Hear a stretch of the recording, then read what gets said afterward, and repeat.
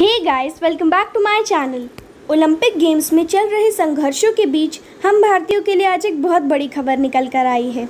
भारतीय खिलाड़ी नीरज चोपड़ा ने जावलिन थ्रो में गोल्ड मेडल जीतकर देश का नाम रोशन किया है। नीरज ने 87.58 मीटर दूर भाला फेंक कर यह मेडल अपने नाम कर लिया है। अपने जोश, जुनून और हिम्मत के बल पर उन्होंने भारत के लिए एथलेटिक्स का पहला गोल्ड मेडल जीता है। क्वालिफिकेशन राउंड में भी उन्होंने बेहतरीन प्रदर्शन किया था। इस शानदार जीत के लिए नीरज चोपड़ा को दिल से सलाम।